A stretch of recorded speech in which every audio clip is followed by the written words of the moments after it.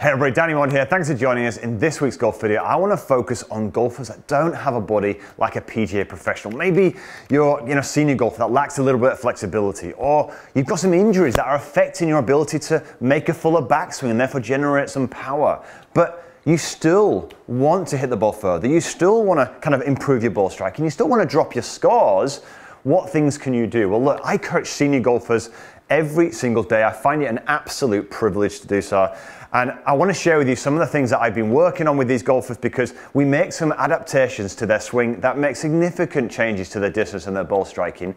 And they're for enjoyment. I love putting smiles on their faces and I hope today I can put a smile on your face too. Now, before I get into the video, look, if you're new to the channel, it's been your first lessons of mine, please consider subscribing. Just press that little bell button next subscribe button, you get notified every time I release a video just like this one. Plus, I always put a free practice plan in the description box below so you never to remember a thing. Okay, great. So let's start with your driver first. If we've got time, we'll even cover your irons because there is a slight difference between the two in the way you hit them. So you struggle with flexibility, maybe you struggle to make that turn, you struggle to generate power. What is potentially lacking and how can we access as much as we possibly can from you on this? So let's start with first stage, what needs to happen at impact. Then what we'll do is we'll then show you how you can change your, your movement pattern to be able to achieve that. And third and final thing was just one kind of the secret sauce at the end. We'll cover that. So first things first you got to make sure at impact that that club, right, scientifically proven, needs to be heading up. The club needs to be striking the ball on an ascending blow. It needs to be hitting up on that golf ball, yeah? So the low point, if you look at this here, look, the club always has a low point. We need to catch the ball on the way up this way. We do not want to be catching it on the way down. You do that, you will lose your distance immediately, okay? Now, in order to make that happen efficiently, the club also needs to be swinging on an arc. That means that the swing direction, i.e., the direction this club is swinging as it approaches the golf ball, needs to be to, for right handers, to the right of target. I'm going to use this as a visual tool here. Have a look at this here. So, I get myself set up here. We've got, this is just a ball tray from the driving range. It's got an arc on this. Yeah, so actually you can actually use this as a wonderful visual tool, by the way, uh, when you're practicing. So we're going to make a swing. And we're moving the swing direction. The swing direction is heading where? To the right hand side. But look, does that mean the club's, I'm going to hit it over there? No, because as we get towards impact, the club naturally starts to square up through the impact area here. That's what we're after. If by any chance you try to get the club going straight down, i.e., towards your target, this is what's going to happen. Very typical. Straight down, straight into the ground. Doesn't even pick up my low point, but the swing direction minus 6.1. If, we if it, TrackMan would have picked that up, that would have been a very downward strike, low point, straight after the golf ball. Barely any height. Sometimes with that, by the way, when you do it, you might even hit some skies where the balls come off the top of your club. So that is when you're swinging too direct towards your target. We need to get the swing direction heading out this way to allow the club to swing around and up on that golf ball. Okay, very, very important. So, how can you go about achieving this? So, I may as well leave this tool here because I think it's a great visual tool which you can, which you can use. So somehow we need to get this arc, don't we? We need to get the club round here, but my research student, 90 plus years old, said, Danny, I can't get around that. I just can't physically turn that way. And I said, um, you maybe not be able to turn all the way back here, but Chris, you can move a lot more freely, right? Because right now, what Chris was doing, he was doing this, picking it up, coming straight down the golf ball. So here's what we did. Got Chris to just unlock certain elements of his body. So if you are trying to get a bigger turn, or you've been trying to get more distance, a lot of time, you're trying to turn like this, around and around, and it's a real stretch. But you don't do it here, right? Allow the feet and the heels to move a little bit. So imagine now, if you do this with me, walk with me, backwards and forwards. Allow the heels to come up. When you do this, look what's happening now. What happened to my hip as I do this? Just naturally. It's opening. If you struggle to get your hips open on the way through, watch this. It's opened. Yeah, it's opening oh, easily. But when you're trying to flat footed to try to turn back and turn through. It's not possible to do any of this.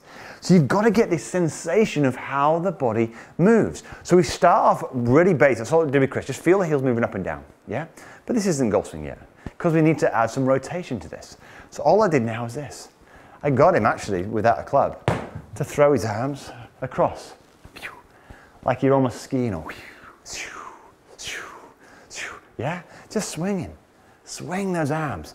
And as you're doing this, look at my heels. They're coming off the ground. But look at them pivot here.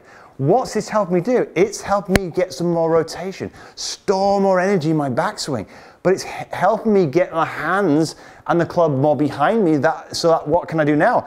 I can attack more on this path, which we talked about is the secret to hitting up and hitting the ball far. Yeah? So we get this motion backwards and forwards. You don't walk like this, flat footed. Yeah? This is how people swinging, playing golf at the moment. They're swinging, they're trying to swing like this. And then when they're trying to go through, they wonder why their hips can't move and they're trying to turn through the shot and they just can't do it because everything is flat footed. So we need to unlock some of this motion so you can easily protect your body, store power. Yeah?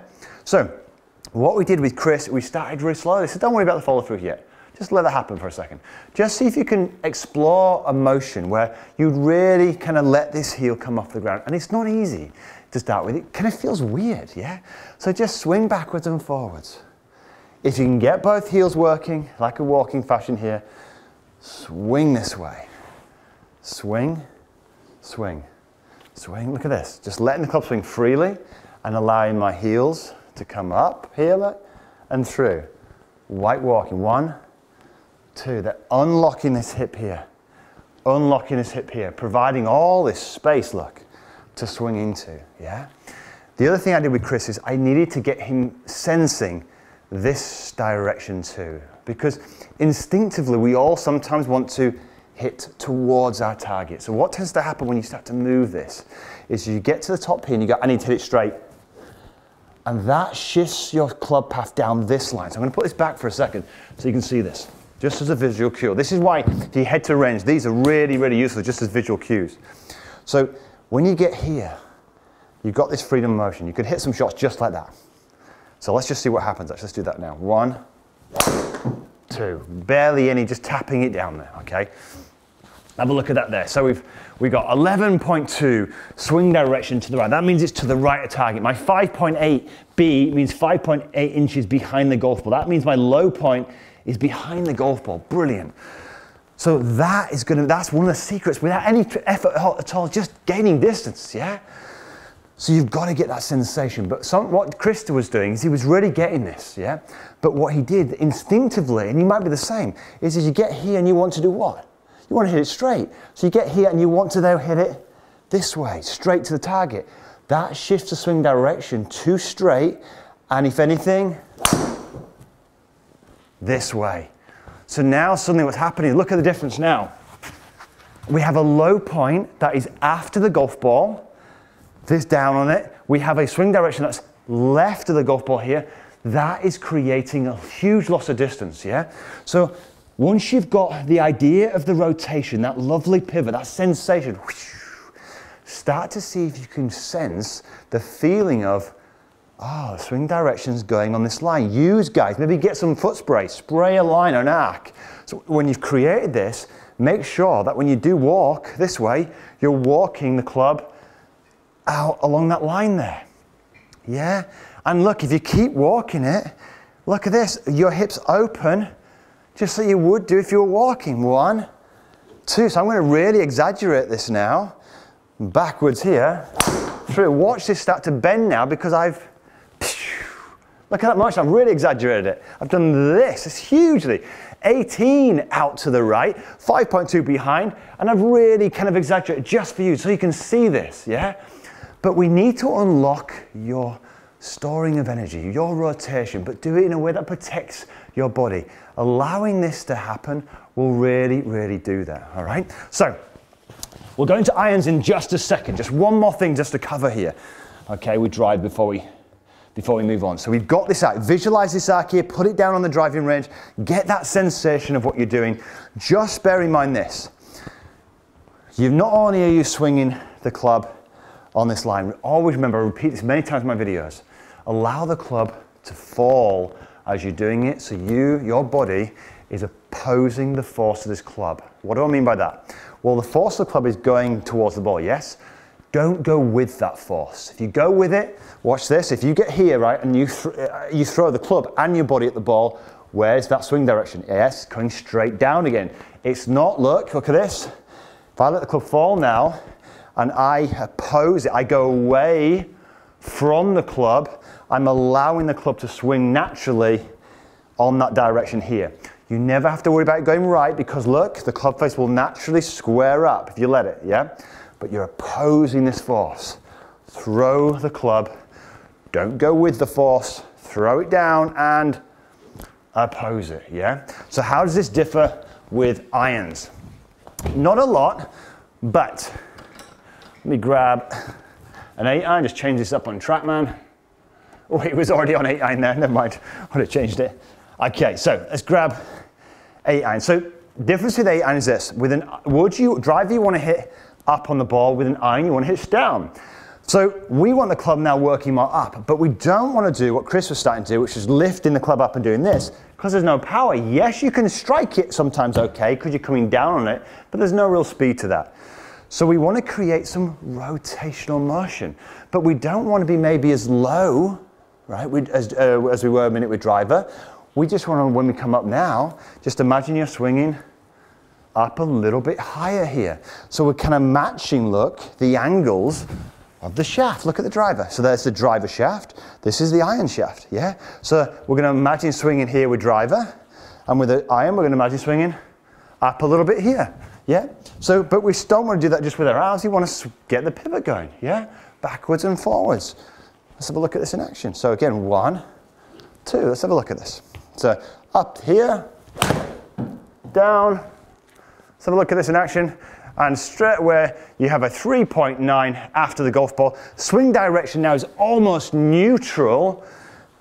I actually find that when I'm striking my best with my irons, this is an 8 iron, I will start to get maybe a minus number. Why? Because it's much, much more on, but you'll notice the swing direction with the irons is much, much more neutral. Why? Because we don't want to be hitting up on the golf ball. 3.9 inches after the golf ball is where we want to be, all right? So if you're a senior golfer and you struggle with flexibility, or any if you've got injuries and you want to start to unlock some power, you need some more rotation. You need to get these impact factors. We need to be in, up on the driver. We need to get in the swing direction, heading out to the right-hand side for right-handers, okay? How do you do this? Unlock your rotation, yeah? Start with just a simple walk, heels off the ground. Then add the pivot to this. Then if you really start to fence, you want to hit a bit further, throw those arms. Feel what you're having to do to throw them. Work around whatever you need to do, yeah? Then gradually add that in to the motion here. Bang, bang. But it'll take the stress off your body because you aren't winding up against this stability here, right? Please don't do that. I hope this really, really helps. It certainly helped Chris. Thanks so much. Look, I see it as an absolute privilege. You're a senior golfer, I see it an absolute privilege to coach people just like you. I find it's a wonderful challenge, trying to come up with different ways to do it.